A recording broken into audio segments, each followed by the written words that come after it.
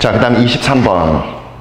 선생님이 중간중간에 강의를 자르는 이유가 그렇지 않으면 뭐 강의 보면 알겠지만 이게 22번이 중간에 끊겨서 그 다음으로 넘어가고 그런 경우가 있잖아.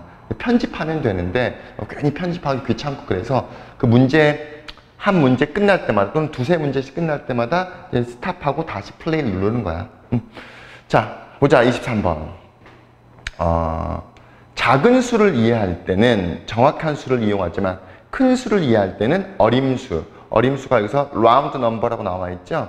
round number, 즉 어림수를 사용하여 대략, 대략적으로 표현한다.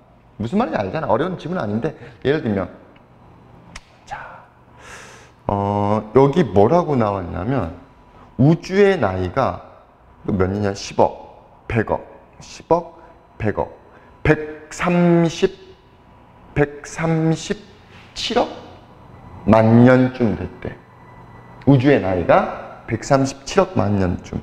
그러면 내년이면 137억 마, 7억 이거 뭐라고 되나? 이것까지 셀 필요가 없지. 아무 의미가 없잖아. 여기 10이 늘어나든 여기 100이 늘어나든 여기 1000이 늘어나든 이 앞숫자의 변화가 없잖아. 그치? 이런 것들을 굳이 1년 이런 걸 넣을 필요가 없다라는 거야 또 예를 들면 할아버지 몇 세시니 그랬는데 어, 97세하고 8개월 지나셨어요 이렇게 얘기할 필요가 없잖아 그치 100세라는 건 우리 인간의 나이로 쳤을 때 상당히 큰 수기 때문에 이런 경우에는 대략 거의 100살까지 사셨어요. 우리 놀라고 이렇잖아. 무슨 말인지 알겠지? 근데 이제 태어난 지 며칠 안 된 애한테 태어나기만 하면 한 살이잖아. 그렇잖아. 우리나라 나이로는 태어나기만 하면 한 살이야. 또는 12월에 태어나가지고 12월이 지나서 이제 1월이 됐다. 그럼 몇 살이 되는 거야? 우리나라 나이 기준으로 했을 때 두 살이잖아. 그럼 두 살이에요. 예를 들면 지금 기껏 해봐야 한 35일 지났는데 두 살이에요. 적절하니 안 하니? 그렇지가 않잖아. 이럴 경우에는 어떻게 해야 돼? 뭐 몇 주로 하거나 또는 몇 개월로 하거나 또는 몇 일이라는 단위, 즉 정확한 단위를 써야 된다는 거야. 됐지? 자, 볼게. 자, 두 번째 문장부터 when quantity 그 수, 양이 클 때는 하지만 we do not use numbers in a precise way. 좀 정확한 방식으로 그 수를 사용하지가 않겠지. 그 수가 클 때 아까 여기서 얘기했던 것처럼 또는 뭐 할머니 할아버지 연세 우리 얘기할 때 우리는 대략적으로 계산합니다. approximate가 동사니까 주어 동사 대략화한다 이 말이지. using a round number as a place mark 어떤 표시어로 그 어림수를 사용해서 대략적으로 표시하더라. 대략적으로 나타냅니다. 왜? 그게 훨씬 더 쉽고 편하잖아. 아, 우리 할머니가 몇 세시더라? 뭐, 이를테면 22년, 선생님 예전에 할머님이 22년생 10월 22일이었어. 22년 10월 22일. 정말로. 내가 이제, 지금 이제 돌아가셨는데 할머니랑 살았던 시기가 좀 있어가지고, 할머니 밑에서 외할머니. 그래서 한동안은 내가 할머니 너무 존경하고 좋아해가지고, 그 거의 모든 비밀번호가 1022 막 이랬었어. 10월 22일. 정말로. 정말로. 지금도 선생님이 핸드폰 번호가 그때 우리 할머니 집 전화번호 뒷자리 번호야. 이건 와이프한테도 얘기를 안 했는데 생각해보니까 그러네. 자, 훨씬 쉽고 더 편리하더라 이 말이지. 자, 예를 들면 When you say that there were 100 people, at the market. 어, 시장에 100명의 사람들이 있어 라고 말할 때 정말 100명을 얘기하는 거야? 이건 어림수잖아. We don't mean that 우리는 의미하는 게 아니야. There were exactly 100 people there. 거기 정말 100명이 있다는 걸 의미하는 게 아니지. 그리고 아까도 얘기했다시피 우리가 이제 말해 우주의 나이가 13.7 billion. 빌리언이 10억이니까 10억, 100억. 한 104, 137억 년쯤 됐다라고 말할 땐 정확하게 137억 년. 여기 1 더하지도 않고 1 빼지도 않고 정확한 걸 의미하는 게 아니다 이 말인 거야. 당연히 거기서 우리는 뭘 의미하는 거야? 몇 백만 년을 더하거나 뺄 수도 있다는 거지. 여기에 몇 백만 년은 티도 안 나지. 그렇잖아. 137억 년인데 몇 백만 년이야 티도 안 나지. 그렇지? 음. 자, 그 다음 자. 큰 수라는 거. 여기서 큰 수라는 건 이제 어림수를 나타내는 어림수를 사용할 때 그 큰 수는 이해되어지는데 approximately 대략적으로 이해되어야 되겠지. 그래서 지금 선생님 알다시피 이렇게 고르는 거는 문법적으로 또는 어휘적으로 나올 수 있는 것들 미리 만들어 놓은 거야. 당연히 이거 두 개는 같은 단어고. 그 다음에 작은 수는 작은 수 여기서 원스야. 왜냐하면 이 원은 대명사지 대명사인데 앞에 있는 넘버스를 대신 받기 때문에 복수화 시켜줘야 돼. 그치? 작은 수는 정확한 걸 나타내기 위한 것이다. 지금 답이 두 개잖아. 휘어져 있지. 근데 참고로 이런 것들은 가급적이면 선생님 설명 안 할게. 어차피 내신에서 우리 문법을 지- 만약에 예를 들면 답이 이거야. 이건데 왜 이게 답인지를 설명하시오라는 문법이 나오니? 안 나오잖아. 그렇지? 그러니까 내신이기 때문에 여러분이 아 이런 거구나 하고 그냥 넘어가도 되는 거야. 평상시 공부할 때는 당연히 알아야 되지. 그게 여러분의 영어 실력에 도움이 되는 거기 때문에. 근데 내신이라는 것은 한정된 시간 내에 많은 걸 해야 되기 때문에 그런 것까지 할 시간적 여유가 많지가 않다는 거야. 이해됐죠? 그리고 이 두 시스템이라는 것은 서로 상호 보완적이다 는 말이죠. uneasily. 자, 그 다음 문장 볼게요. It's clear, it's clear nonsense. 이건 진짜 nonsense야. 대대하라고 말하는 게. 내년에 우주가 will be 13.7 billion and one years old. 137억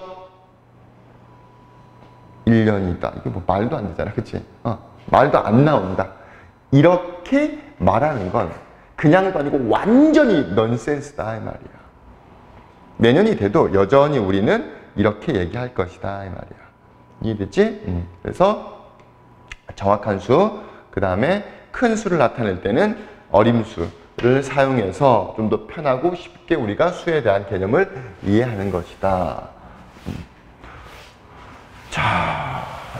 기업이 제품의 생산성을 향상시키는 것이 생산성 향상시키는 것이 제품 수익성, 수익성을 향상시킬 뿐만 아니라 경제에도 건강한 영향을 미친다. 라는 게 조금 경제적인 지- 내용이기 때문에 어려울 수가 있는데 쉽게. 자, 어, 요걸 이제 포인터라 그러더라고. 이게 요거 이렇게 포인터 가르쳐 주잖아. 그치? 어. 근데 선생님이 이걸 조금 비싸. 다른 건 한 2, 3만 원 정도 하는데 선생님 이게 14만 얼마에 샀어. 15만 얼마인가? 어찌되었건 상당히 한 4, 5배 더, 6, 7배 더 비싼 거잖아. 그치? 돈이 많아서가 아니라 이게 편하더라고. 자, 샀는데 비싸잖아. 그러니까 많이는 안 팔릴 거 아니야. 그래서 얘네들이, 얘네들이 조금 더 벌려고 안에 있는 부품들을 싼 걸 써. 그럼 이걸 만드는 제조 원가는 어떻게 돼? 올라가겠어? 내려가겠어? 내려가겠지. 그치? 그래도 판매 가격은 그대로야. 그럼 처음엔 어떻게 했어? 회사 입장에서는 돈을 벌게 되겠지. 그치? 이거 가격을 만드는 제조 비용을 줄이면 줄일수록 판매 가격은 그대로기 때문에 만드는 가격은 줄어들고 판매 가격은 그대로기 때문에 돈은 처음엔 벌 거란 말이지. 근데 이 안에 있는 어때 그 부품들을 줄여버리거나 안 좋게 만들면 한계가 있지. 그 사람들이 소비자들이 감지한다고. 그럼 다음엔 안 사는 거야. 그렇지 않아도 비싸가지고 안 살까 했는데 좋으니까 샀는데 조금씩 불편해지고 있어. 그럼 바뀌어 버린다는 거야. 그러니까 이렇게 단기적인 임시 방편적으로 돈을 벌려고 하지 말고 장기적으로 생산성, 제품의 생산성을 향상시키는데 어떻게 하면 생산성을 향상시킬 수 있는지 보자고.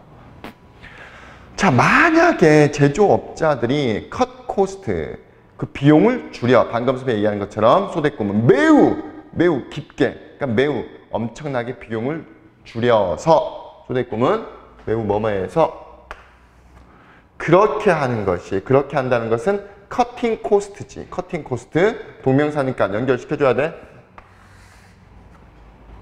그렇게 하는 것이 제품의 질에 해를 끼친다면 그러면 처음에는 돈을 벌었을 거야 처음에는 그치? 소비자들이 느끼는 데까지는 시간이 조금 걸리니까 일단 소문은 많이 나 있을 거 아니야 이 제품이 좋다고 그치? 그래서 샀는데 보니까 생각만큼 안 좋아 왜?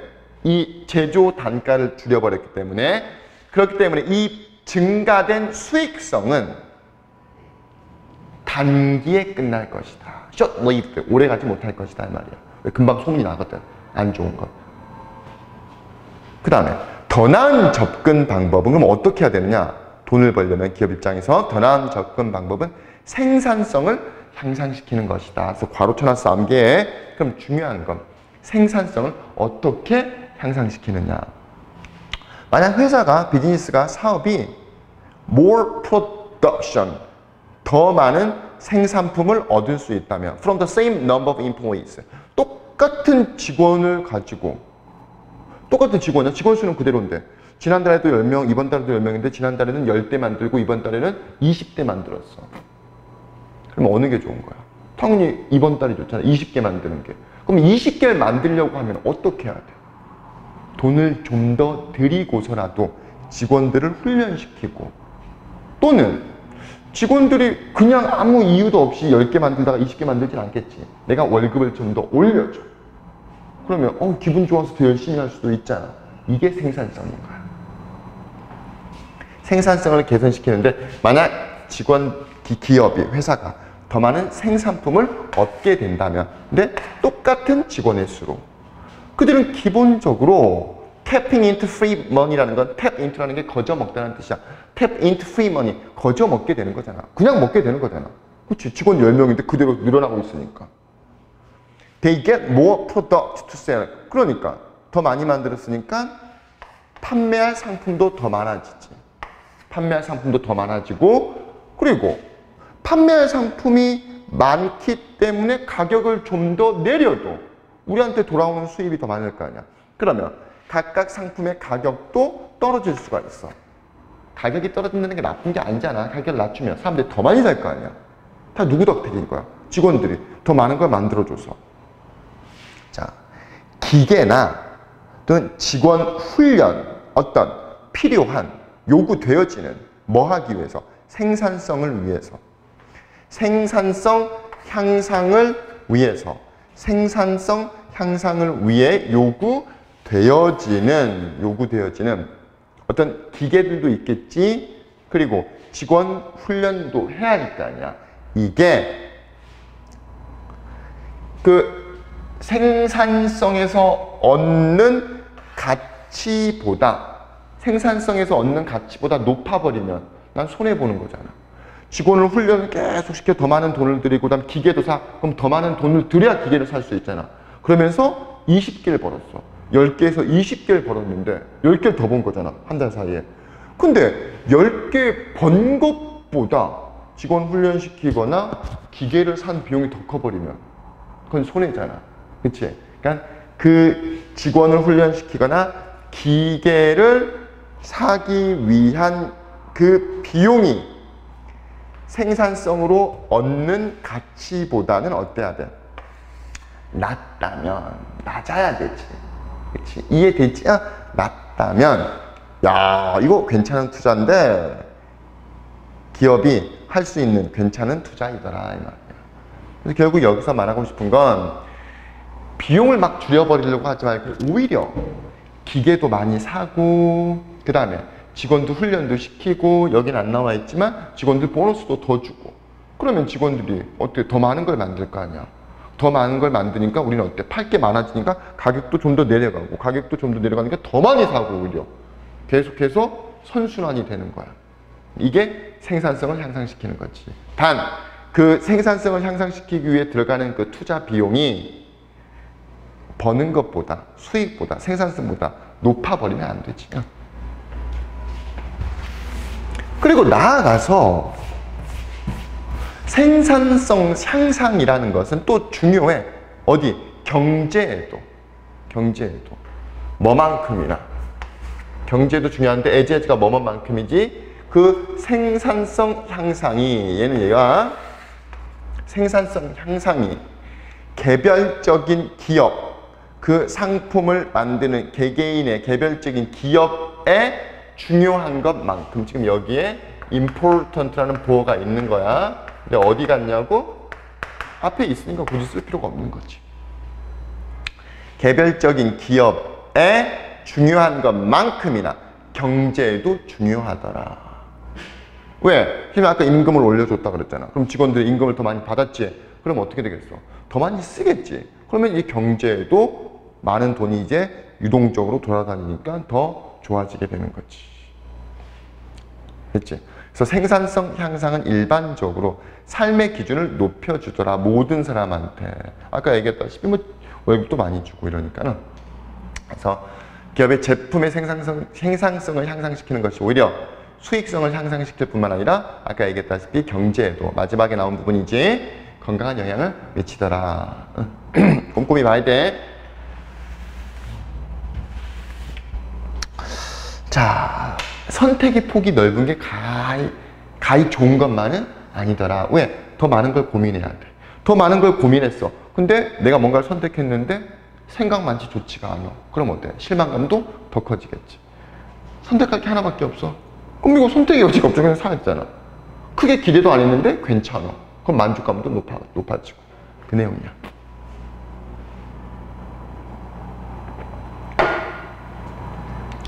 Abundance가 풍부함이지. over니까 과하게 풍부한 거죠.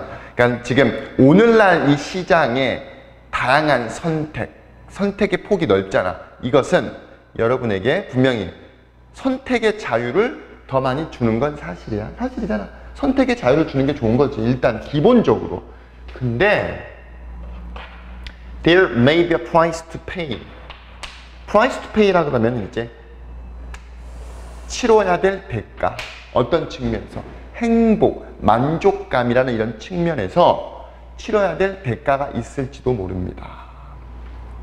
그치? 오히려 그게 우울하게 만들어버리더라 이 말이지 라고 연구 결과가 나왔어 자그 다음 문장 이 연구원들은 한 24명의 쇼, 아, 쇼핑객들에게 24 choices of jam to taste. 맛볼 수 있는 시식할 수 있는 한 24개의 잼을 줬대. 그리고 또 다른 사람들한테는 6개만 줬대. 6개만.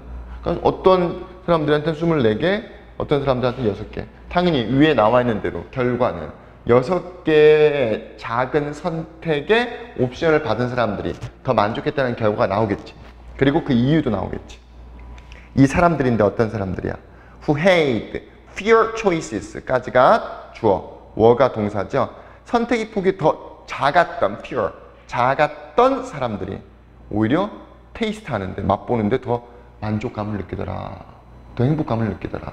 행복감이란 단어는 좀 그렇고 아니, 잼 먹는데 행복감을 느끼니? 아, 맛있다. 만족감을 느낀 정도죠. 그 다음 심지어 더 놀라운 건 사람들인데 어떤 사람들은 with a smaller selection 그 더 적은 선택을 받은 사람들이 그냥 시식만 한 게 아니라 결과적으로 그때 31%나 잼을 구매하더라 이 말이야.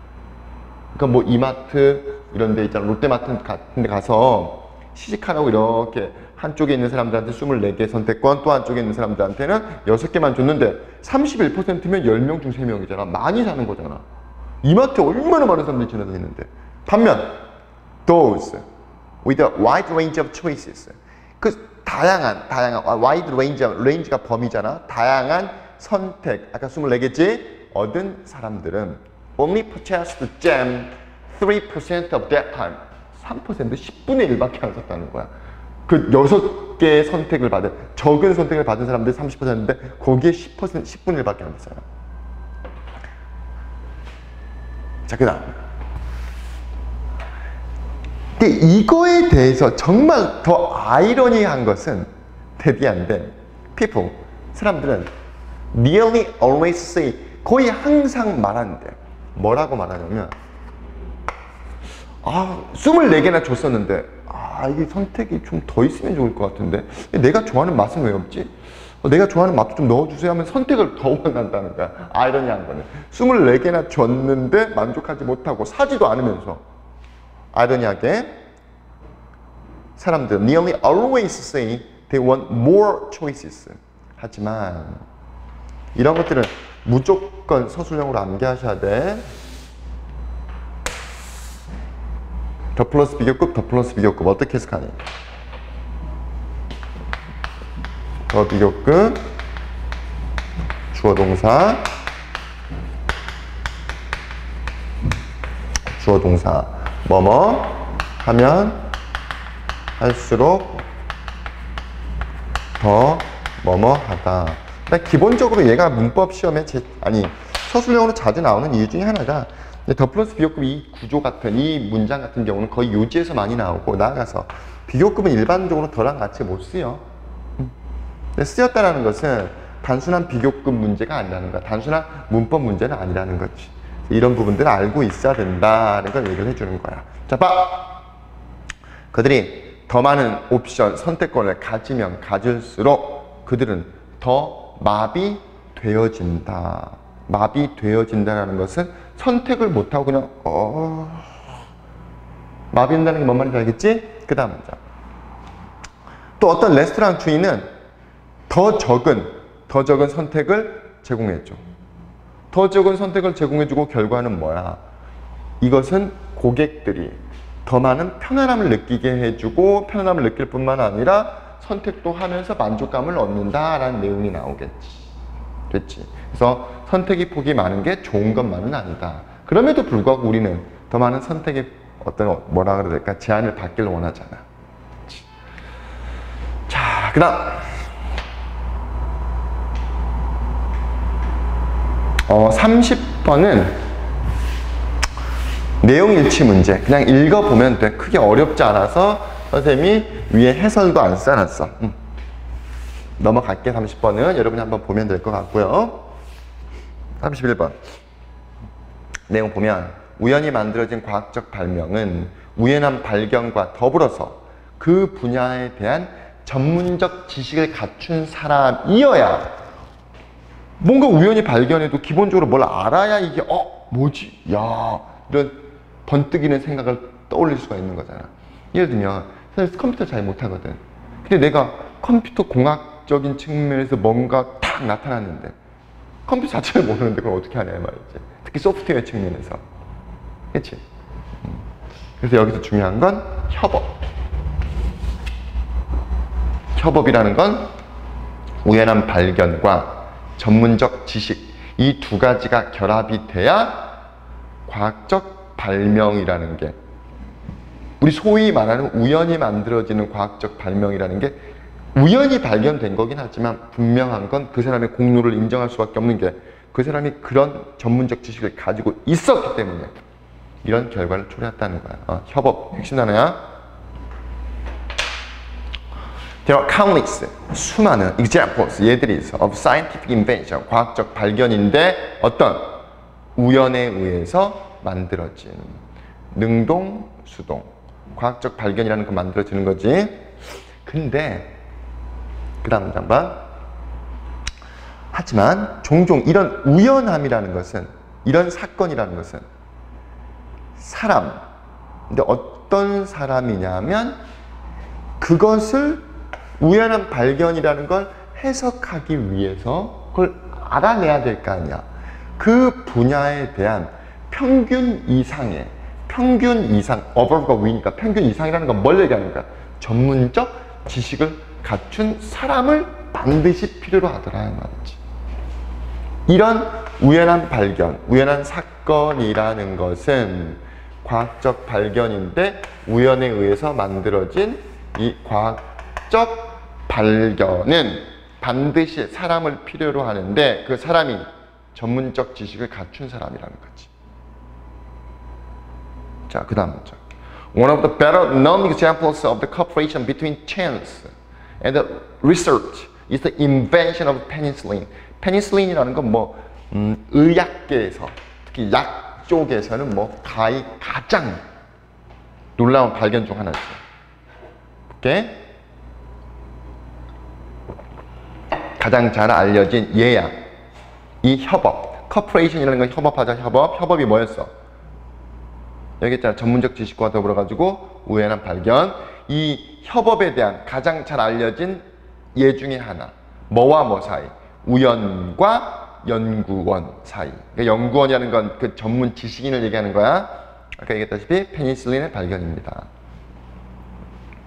근데 이, 요, 요 사람, 요 사람 이름이 뭐 알렉산더 플레밍이라는 이 사람이 되게 약간 좀 부주의한 사람이었어. 부주의한. 그러니까 뭐 꼼꼼하진 않았나 봐. 과학자였음에도 불구하고. 이 사람이 배양균, 몇몇 어느 정도의 박테리아 배양균을 책상 위에 두고 나가버린 거야. 박테리아 배양균을. 어, 어떻게 그 다 유리관에 이렇게 두고 나와야 되는데 그렇지 않고 책상 위에 두고 나와 버린 거야. 근데 그가 딱 돌아왔을 때 어? 곰팡이가 있는 거야. 그 배양균 중 하나에. 배양균 중에 하나에 곰팡이가 있고 그 주변엔 박테리아가 하나도 없는 거야. 그 주변에 bacteria free zone, 박테리아가 없는 zone을 가지고 있는 이라는 게 이제 무슨 말이냐면 박테리아는 하나도 없고 그 배양균 중 하나에 어? 곰팡이가 있는 거야. 그럼 배양균을 그 유리관에 넣었어야 되는 건데 거기 안 넣고 그냥 책상에 깜빡하고 두고 와버렸는데 그럼 당연히 곰팡이가 피겠지. 근데 보니까 박테리아가 없는 거야.